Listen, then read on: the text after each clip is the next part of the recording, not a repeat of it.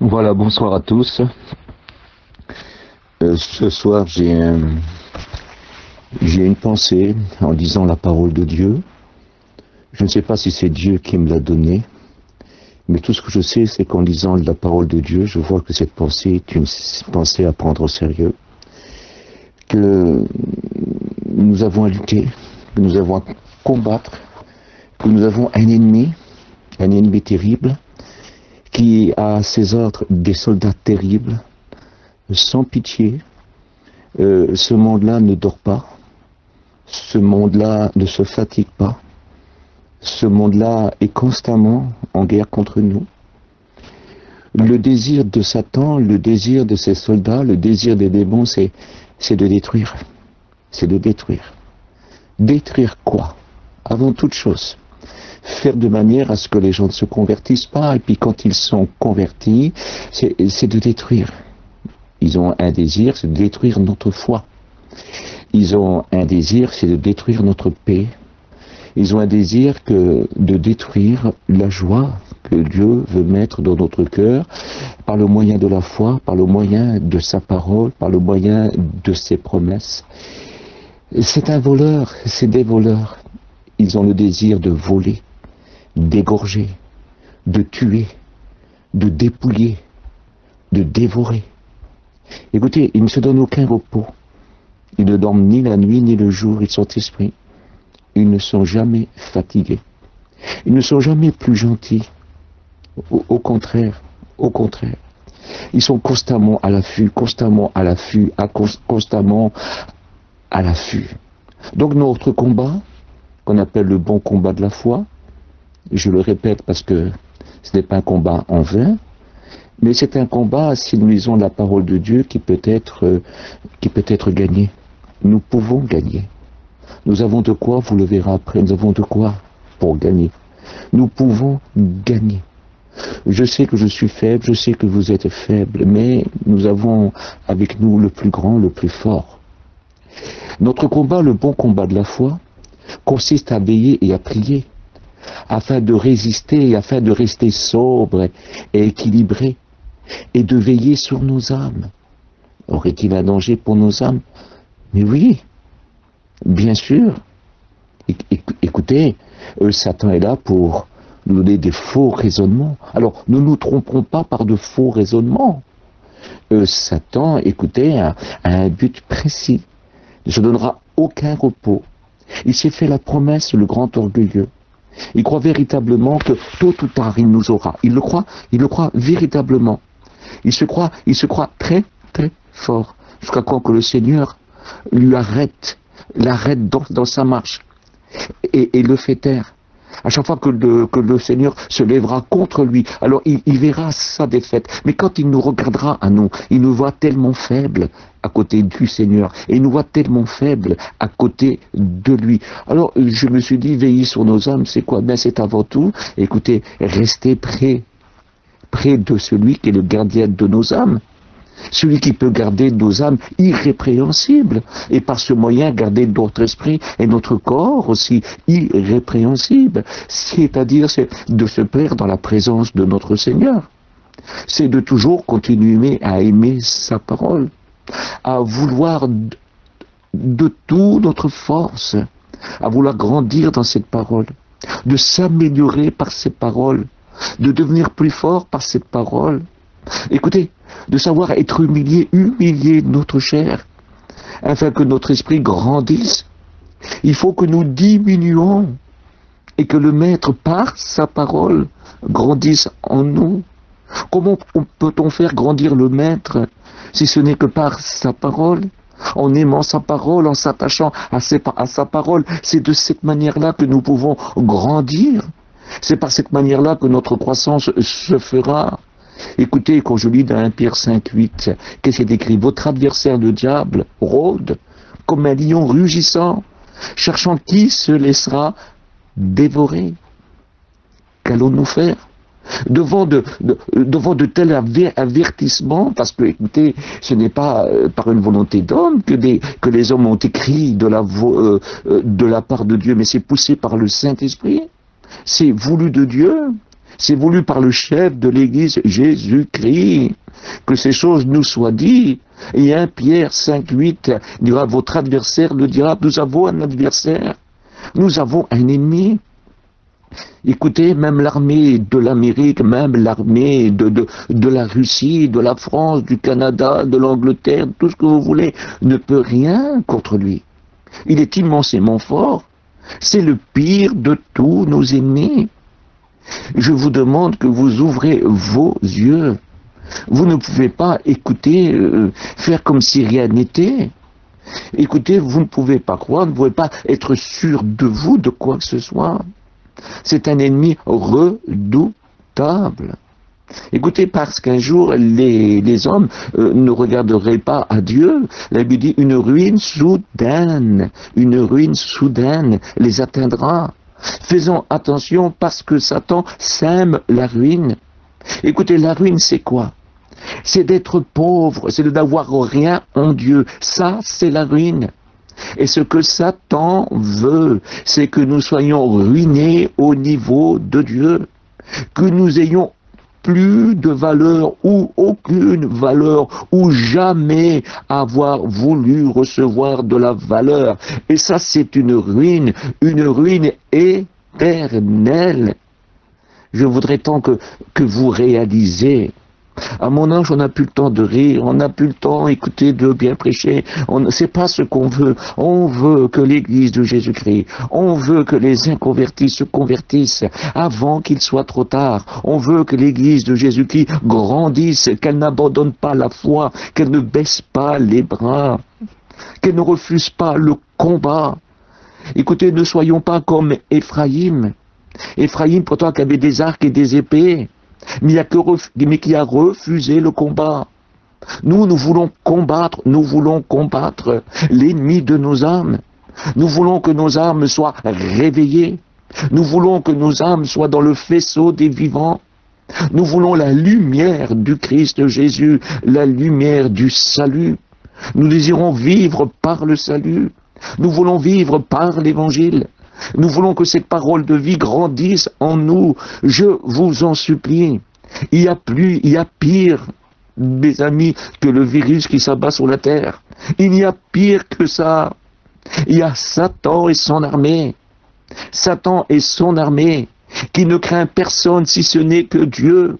Et je vous demande de vous blottir, de vous blottir en Dieu. Écoutez, de vous mettre en Christ de rentrer fortement, fortement, fortement. Écoutez, je suis placé pour vous dire combien Satan est capable et veut décourager. Je vous en supplie, il n'a pitié de personne. Il s'attaque à tout le monde. Il s'attaque au plus fort comme au plus faible. Il n'hésite pas. Tous les hommes de la Bible furent attaqués. Je voudrais vous faire un, récit des hommes auxquels il est venu s'attaquer. Vous pourrez dire, mais, mais c'est incroyable s'attaquer à de tels hommes. Oui, ils étaient forts, oui, ils étaient grands quand ils regardaient au maître. Mais quand ils ne regardaient plus à Dieu, alors Dieu, ils étaient très forts, ils, ils étaient très faibles.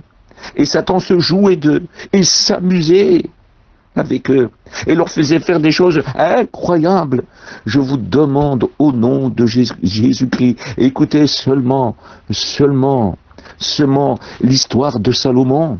Rappelez-vous l'homme le plus sage de toute la terre, qui est devenu le pire des insensés de toute la terre. Oh mes amis, veillez, veillez, souvenez-vous de cela. Est écrit, résistez-lui, avec une foi ferme, c'est marqué dans 1 Pierre 5, 9.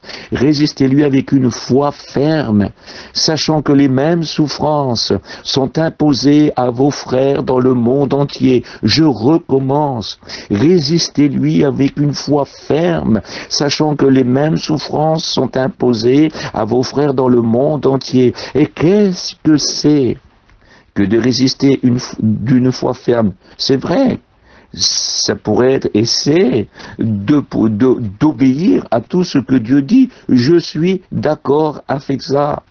Mais le texte a quelque chose d'encore de beaucoup plus compréhensible. Résistez-lui d'une fidélité ferme à ce que Dieu vous demande.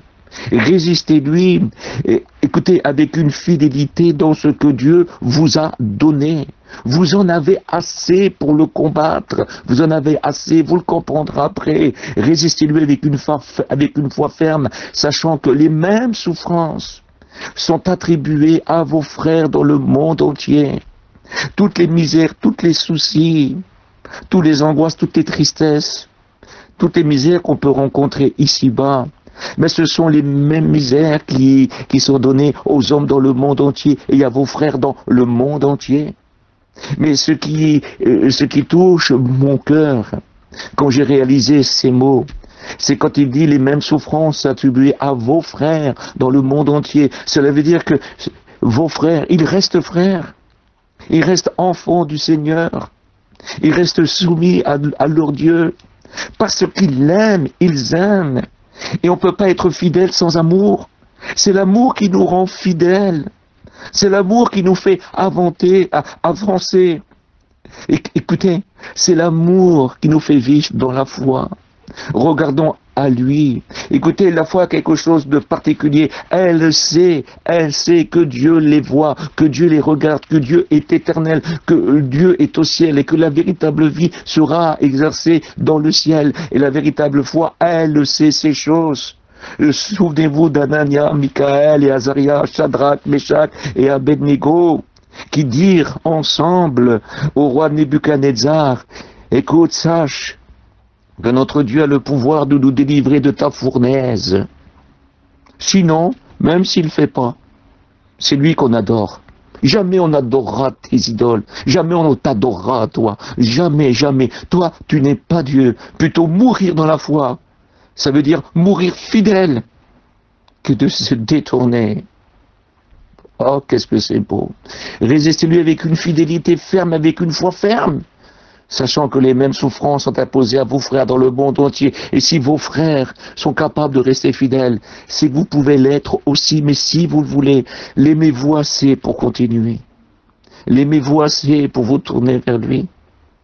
Écoutez, l'aimez-vous assez pour lui demander pardon ce soir? Oh, vous savez, j'y demande pardon. Je voudrais tellement faire mieux. Ah, parfois j'arrive, parfois j'arrive pas. Mais je crie à mon Dieu, je veille sur mon âme, je veille sur mon âme. Satan veut détruire, Satan veut voler, Satan veut égorger, Satan veut tuer, Satan veut dépouiller, Satan veut dévorer. On ne peut pas lui laisser faire. Je, lis dans Jacques chapitre 4 verset 7. Soumettez-vous donc à Dieu. Résistez au diable et il fuira loin de vous. Je recommence. Mais qu'est-ce qu'ils sont beaux ces versets. Si vous serez comme j'aime ces versets, soumettez-vous donc à Dieu. Écoutez, écoutez la voix de Dieu, refusez la voix du diable. Dites-lui non, mon Dieu ne veut pas. Non, j'aime mon Dieu. Non, je veux persévérer. Il vous propose du mal. Dites non, non, il crie à Dieu. Crie à Dieu. Seigneur, donne-moi la force. Donne-moi la force. Seigneur, je ne veux pas écouter la voix du mal. Je veux t'obéir selon qui est écrit. Ne nous induis pas dans l'épreuve, ne permets pas l'épreuve, mais délivre-nous du malin, délivre-nous du malin. Crions, quand la tentation se présente, criez à Dieu, je vous en supplie, criez à Dieu. Refugiez-vous, fuyez, fuyez, le salut est parfois dans la fuite. Fuyez le mal, ayez le mal en horreur, fuyez le mal, je vous en supplie. Ne vous laissez pas, ne vous laissez pas séduire par le mal. Ne vous laissez pas tenter par le mal. Criez à Dieu. Ne laissez pas le malin exercer son pouvoir mauvais sur vous. Au contraire, criez au chef suprême. S'il y a plus forte raison, Christ est mort pour nous. À plus forte raison, il nous donnera toutes choses. Plus forte raison, il sera avec nous, vous le comprendrez après. Jean 10, 10, regardez ce que, Jésus dit, qu'est-ce que c'est beau. Le voleur, ne, le voleur ne vient que pour dérober, égorger et détruire. Moi, je suis venu afin que mes brebis aient la vie et qu'elle est en abondance. Il dit, moi, je suis venu afin que mes brebis, écoutez, soient dans l'abondance. Écoutez, qu'elle est véritablement cette vie, oui, Jésus donne en abondance ce que la vie nouvelle a besoin. Jésus donne en abondance ce que le chrétien a besoin. Jésus donne en abondance ce que la brebis a besoin. Je vous promets. Écoutez, dans la, pour la vie nouvelle, il n'y a que le Maître qui peut faire quelque chose pour nous. Pour vivre la vie nouvelle, écoutez, retenons Éphésiens 2.10. Nous sommes l'ouvrage de Dieu créé en Jésus-Christ pour accomplir des bonnes œuvres, des bonnes œuvres, des bonnes œuvres. Il les a préparées afin que nous les accomplissions. Oui, nous sommes l'ouvrage de Dieu, écoutez, qui sont créés en Jésus-Christ, afin que nous accomplissions ces bonnes œuvres préparées d'avance. Nous sommes sur le modèle du Christ. Il nous donne véritablement ses sentiments. Il nous donne ses désirs. Écoutez, nous aimons cette vie-là. Oui, Jésus donne en abondance. Il dit, je veux que mes brebis aient la vie. Il a dit, je suis la vie.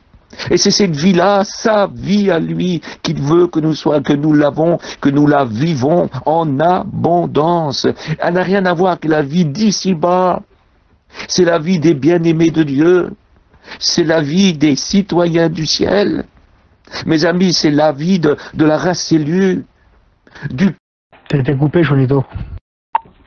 C'est la vie des servantes de Dieu et des serviteurs de Dieu. Nous sommes un sacerdoce royal. Nous sommes ce peuple acquis, cette nation sainte, cette race élue. Nous avons été élus, élus de toute éternité. Il nous connaissait, il savait tout, il avait déjà préparé le jour et il prépare toutes choses pour nous. Il nous a élus, il nous a connus depuis toujours. Ce Dieu qui ne traverse pas les temps, il est dans tous les temps. Il était là avant que nous y soyons. Il est dans tous les temps. Il connaît absolument tout. Il connaît tous les pièges que notre adversaire veut nous dresser. Et puis, il nous rend capables, il nous donne de l'intelligence, il nous donne de, de, de l'éclaircissement. Nous avons nos yeux. Nos yeux sont bien notre tête. Nous sommes éclairés. Nous avons une vision, celle du Christ, celle de sa parole. Nous sommes véritablement éclairés. Alors, nous vivons pas dans les ténèbres, mais notre lumière fait reculer les ténèbres. Nous pouvons être vainqueurs, vainqueurs. Voulez-vous être vainqueurs? Regardez la victoire en Christ, mais regardez, je vous en supplie, regardez, car tout est possible à celui qui croit. Et je suis véritablement certain que vous croyez ou que vous désirez croire et que vous désirez grandir dans la foi, grandir dans la fidélité. Je sais que Satan ne veut pas, il veut pas que vous entendez ça ce soir. J'ai passé une journée très difficile. Je vous promets, je vous promets, Satan a tout fait pour me dé découragé. Mais mon maître, mon maître, mon maître, mon bon maître a resté avec moi. Et je suis persuadé, je suis persuadé que je dois vous dire ce que j'ai à vous dire. Notre lutte est celle d'un soldat. Écoutez, si Satan a ses soldats, nous sommes les soldats du Christ. Oui, nous sommes les soldats du Christ. Et un bon soldat ne s'embarrasse pas des choses de la vie s'il veut croire à celui qu'il a enrôlé, s'il veut suivre à celui qu'il a enrôlé, s'il veut être fidèle à celui qu'il a enrôlé. Nous sommes enrôlés dans une guerre, mais dans une guerre de victoire, parce que nous sommes lumière, contraire des ténèbres. Nous sommes celles de la terre, on donne du goût, Satan donne du dégoût. Je ne sais pas si, si vous réalisez ça. Nous voulons apporter ce qu'il y a de mieux, de mieux. T'as été coupé, Jonito. À la tête de son Église. Le Maître conduit son Église. Il remplit son Église de sa présence, de ses mots, de sa parole, de son pouvoir, de sa capacité. Il nous rend capables. Écoutez, nous pouvons marcher comme il a marché. Car tout est possible à celui qui croit, je vous en supplie. on sait que ce n'est pas simple. C'est une vie de soldat. Les soldats prennent des coups. Mais les soldats avancent. Ce n'est pas facile, mais les soldats avancent. Le soldat avance et il veut que tu avances aujourd'hui. Oh mes amis. L'homme béni fait peur à Satan, je vous promets. C'est pour cela que Satan fait tout ce qu'il peut pour nous éloigner de la bénédiction, afin que nous ne soyons pas bénis ou plus bénis. Je recommence. C'est important. C'est important. L'homme béni fait peur à Satan. C'est pour cela que Satan fait tout ce qu'il peut pour nous éloigner de la bénédiction, afin que nous soyons pas bénis, ou plus bénis. Euh, quand, je lis dans le livre de la Genèse, au chapitre 32, il m'est parlé d'un homme qui voulait être béni. Il voulait être béni parce qu'il avait reçu des promesses de Dieu. Et il avait cru à ces promesses de Dieu. Il rencontrait des obstacles qui étaient très très durs à surmonter. Il était, impossible pour lui de les surmonter si Dieu n'était pas avec lui. Mais voici que cet homme-là avait les regards sur Dieu, sur la promesse de Dieu et sur le pouvoir de ce Dieu-là. Il croyait dans la parole de son Dieu. Vous l'avez reconnu, c'est Jacob. Et voici que Jacob, à un certain endroit, resta seul au guet de Jabok. Il resta seul. Oh, mes amis, il resta seul, pourquoi? Il s'était retiré pour prier. Il s'était retiré pour méditer. Il s'était, il s'était retiré pour réfléchir. Il s'était retiré pour recevoir instruction, pour savoir ce qu'il faut faire. Il s'était retiré pour se réfugier envers celui qui bénit. Il voulait véritablement être béni parce qu'il sait que la bénédiction fait trembler Satan quand un homme est béni, quand un homme est béni. Oh, Satan viendra, mais il sait qu'il est vaincu. Il attend toujours que cet homme-là s'affaiblit, qu'il s'affaiblit, qu'il s'affaiblit, qu'il s'affaiblit. Et puis il va, écouter, faire toutes sortes de stratagèmes. Il va s'attaquer à droite. T'es découpé.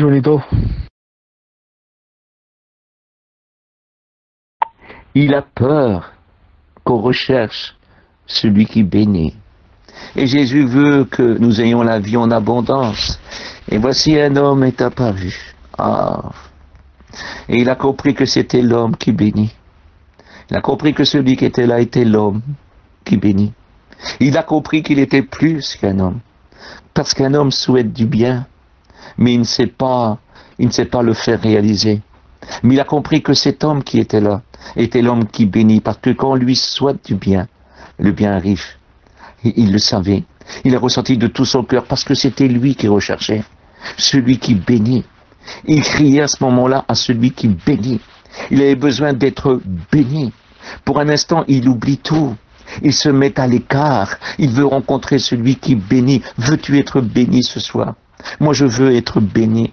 Je veux être béni. Je veux être béni. Oh Seigneur, souhaite-moi du bien, parce que si tu souhaites du bien, toi, le bien arrivera. Ce que un homme peut me souhaiter, même qu'il le fait de tout son cœur, ce n'est pas sûr qu'il arrivera. Mais si Dieu me souhaite du bien, il est sûr que le bien arrivera. Et voici qu'il s'est accroché à cet homme-là. Oui, il s'est accroché.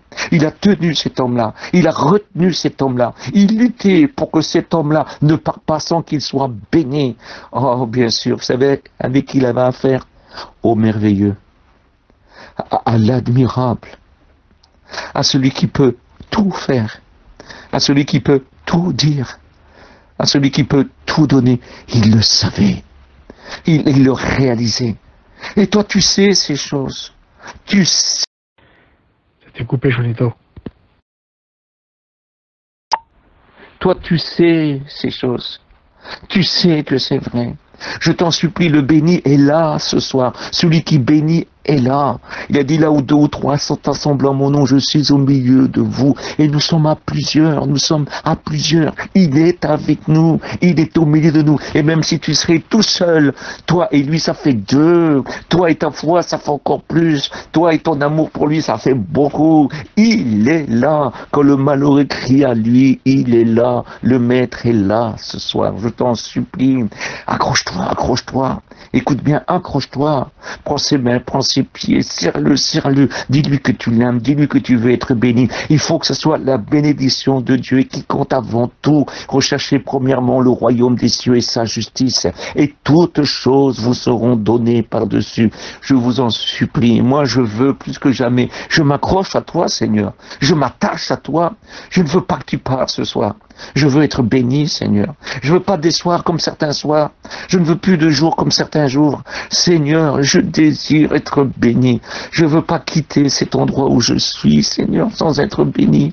Je veux être béni. Et il lui a dit, mais laisse-moi partir, laisse-moi partir. Non, il ne veut pas, il insiste, il veut, il veut. L'homme blanc béni voulait voir, l'homme qui bénit voulait voir ce que celui qui désire être béni voulait voir jusqu'à où il allait persévérer pour sa bénédiction. Et voici qu'une chose étrange se passe.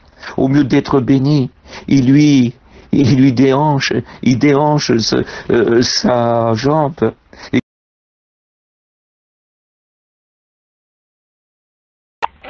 Ça a coupé. Aucune importance qu'il a mal à sa hanche.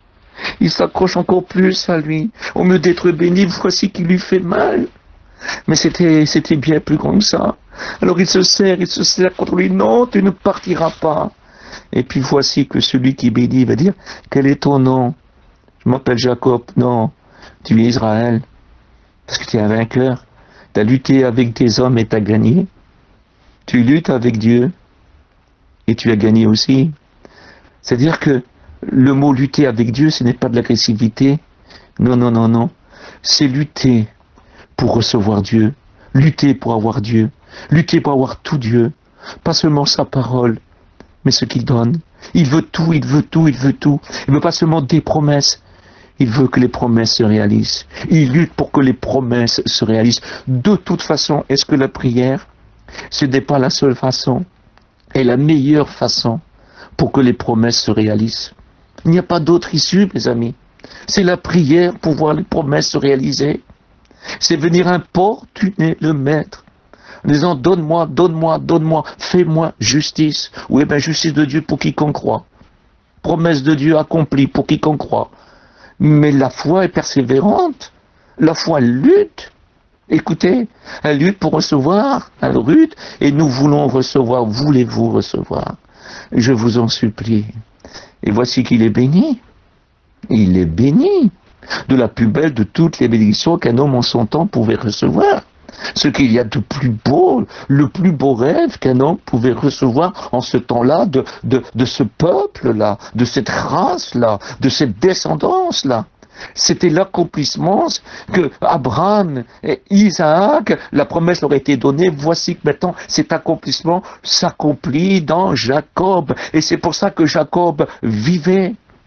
Et voyez-vous, Dieu a fait une promesse à son fils pour qu'il sauve le monde et pour qu'il le rend. Et moi, je désire justement que cette chose s'accomplisse. Alors je veux être vers celui qui bénit Jésus béni. Parce que Dieu veut en Jésus que nous soyons bénis. Voulez-vous être bénis? Voulez-vous être bénis? Oh, bien sûr, il fut plus jamais le même homme. Ce fut un boiteux jusqu'à sa mort, parce qu'il a été déhanché. Mais aucune importance. Quand on est béni, on n'a plus la même marche. Quand on est béni, on n'a plus le même aspect. Quand on est béni, on ne fait plus les mêmes choses. Quand on est béni, on ne sera plus jamais la même personne. Je vous en supplie, soyez bénis. Malheureusement, j'ai rencontré des gens qui qui marchaient plus comme le monde, qui étaient bénis. Mais malheureusement, avec le temps, ils ont changé. Ils ont changé. Et peut-être toi, toi mon frère, tu fais partie de ce monde-là. Mais ce soir, reviens. Qui te remet, parce qu'on ne peut pas marcher n'importe comment.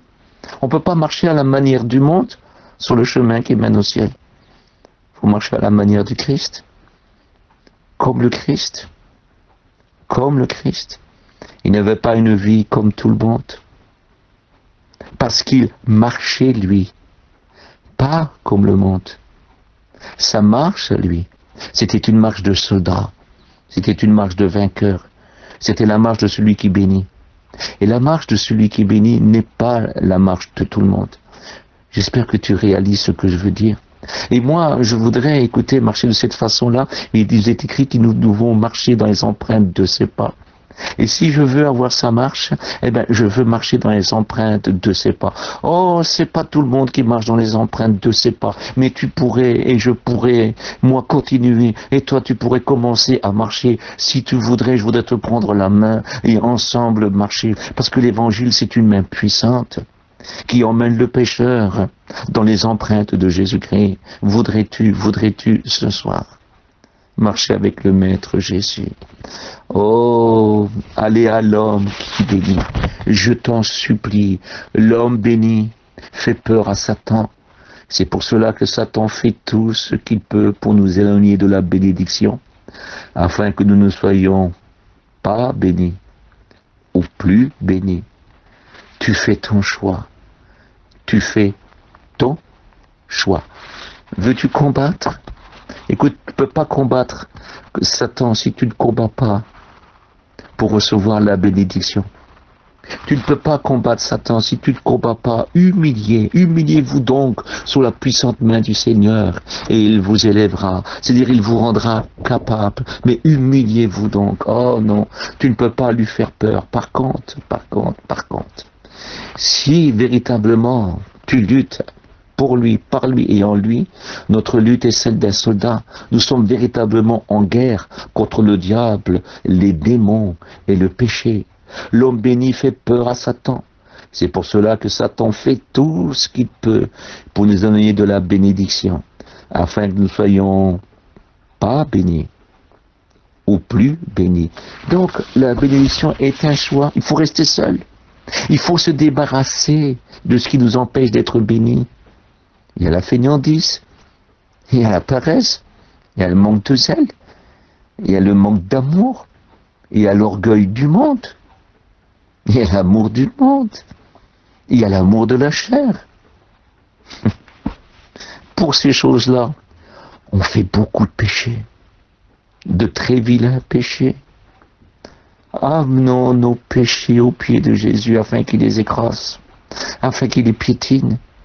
Je vous en supplie, afin que par le sang précieux de Jésus-Christ, nous soyons lavés de toutes nos fautes afin que nous soyons bénis et continuons à lutter pour la bénédiction. Ça fait 50 ans que je lutte toujours pour que ma bénédiction grandisse et pour que je reste béni. Je vous en supplie, je vous en supplie, les mêmes épreuves, les mêmes souffrances, les mêmes combats, les mêmes luttes sont attribués à vos frères dans le monde entier. Mais ils restent fidèles. Ils restent fidèles. Tu peux le faire aussi parce que leur force, ils ont été le chercher vers le Maître béni, celui qui bénit. À toi, Seigneur, toute la gloire. Je te rendre grâce ce soir. Seigneur, j'ai fait ce que j'ai pu. J'ai lu, Seigneur, et j'ai dit. Oh, je crois que c'est la vérité ce que j'ai dit, parce que c'est ta parole qui le dit. Oh, Seigneur, je veux m'attacher à ce que ta parole dit. Seigneur, je te trouve dans ta parole. Seigneur, et par ton esprit, tu me fais réaliser, Seigneur, ce que ta parole attend de moi. Et je veux leur dire, Seigneur, si tu attends ça de moi, c'est que tu attends ça aussi de eux. À toi revient toute la gloire dans le nom de Jésus. Que vous soyez bénis, mes frères et mes sœurs. Et je souhaite à mes amis de rencontrer Jésus, afin qu'ils soient bénis. Car c'est la bénédiction de Dieu. Et la bénédiction de Dieu, c'est Jésus-Christ. C'est la bénédiction de Dieu qui enrichit. Et celle-ci, il ne l'a fait suivre d'aucun chagrin, bien au contraire. Il l'a fait suivre par une victoire et par la vie éternelle et par un poids éternel de gloire que nous recevrons quand il viendra chercher son Église. Que Dieu vous bénisse.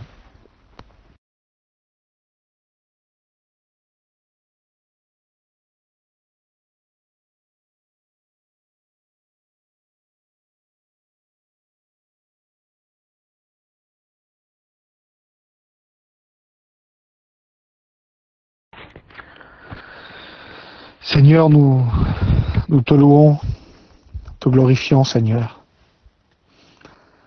Nos cœurs se réjouissent ce soir, Seigneur, d'entendre ta parole. Seigneur Tout-Puissant. Tu nous rappelles encore, Seigneur Jésus. Tu nous montres encore, Seigneur éternel, que le combat est là. Même que des fois on peut se reposer, dormir, mais tu nous rappelles que le combat est là, que l'ennemi ne dort pas et qu'il est là et qu'il manigance des choses, qu'il prépare des plans contre nous, contre ton Église. Mais Seigneur, tu nous réveilles afin que l'ennemi n'aille pas à l'avantage sur nous, Seigneur. Ta parole nous éclaire, elle nous montre nos cœurs, elle nous montre qui nous sommes, Seigneur. Je te loue pour ta parole de ce soir. Seigneur, ta parole, elle me réveille, Seigneur. Elle, elle réveille ma vie. Seigneur éternel Dieu, que ton esprit qui est en moi, Seigneur éternel, dirige ma vie, que je puisse être dirigé par ton esprit. Accorde-moi le discernement nécessaire, Seigneur, afin de discerner les pièges de l'ennemi, Seigneur. Montre-moi ce que je ne vois pas. Donne-moi des yeux pour voir, Seigneur, des oreilles pour entendre, un cœur pour aimer, une bouche pour parler, Seigneur, de toi. Seigneur, je te loue, Seigneur. Seigneur éternel, Dieu Tout-Puissant. Tu vois les jours qui sont devant nous, tu vois ce qui nous attend, Seigneur. On ne connaît pas l'avenir. On ne sait pas ce qu'un jour peut enfanter, mais toi tu le sais, Seigneur. Seigneur, arme-nous dans cette fin d'état, arme-nous de ta parole. Voulons la lire, Seigneur, la méditer, la dévorer, l'aimer encore plus. Aimer ta parole, t'aimer à toi, aimer ta présence. Seigneur, ce soir, je te demande aussi pardon. Je veux me repentir, Seigneur, pour, pour mes manquements, mon manque de prière, mon manque de consécration, mon manque de lecture, mon manque d'intelligence, Seigneur. Pardonne-moi, Seigneur. Seigneur, œuvre dans ma vie. Continue ton œuvre en moi, dans mon foyer, dans mes enfants. Merci pour, pour tout ce que tu fais, pour le groupe de prière, Seigneur. Bénis nos anciens qui sont là. Bénis Juanito, Seigneur, son foyer. Bénis, Seigneur, ses enfants, Seigneur, sa petite fille, Seigneur, étant aimée. Rétablis toutes choses. Bénis Xavier, Seigneur. Bénis Moreau, Yep, Seigneur, Jonathan. Bénis, Seigneur, toute cette famille, Seigneur, qui te sert. Bénis Donald, Seigneur. Bénis tous les frères qui sont avec nous sur le groupe, tous les serviteurs de Dieu qui sont là, Seigneur. Bénis Bol, Pachai, cause tous les frères, Seigneur. L'église de Arles, mon Seigneur, l'église de Béziers, Seigneur, de Agde, les églises du nord de la France, Seigneur, de l'île de Paris, de Nice, Seigneur, de la Bretagne, de l'Alsace, Seigneur, du centre. Seigneur, la mission qui a besoin de toi, toi, tout ce que, tout ce que le diable fait dans le secret, Seigneur, tout ce qui manigance, Seigneur, arme ton église. Que nous puissions être spirituels, Seigneur. Ah, Seigneur éternel Dieu.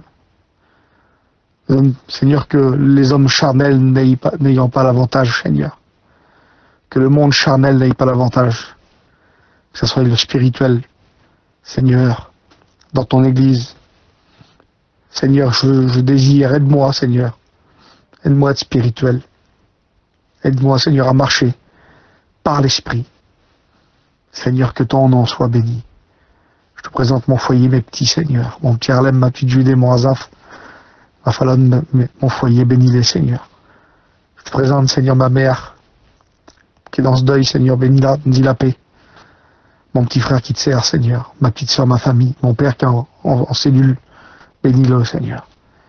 Je lève ma main vers toi, Seigneur. Je lève mes mains vers toi. J'ai confiance en toi, je m'appuie sur toi, Seigneur. Merci pour l'avertissement de ta parole. Réveille nos cœurs. Tiens-nous éveillés, Seigneur. À toi la gloire, Jésus. Amen.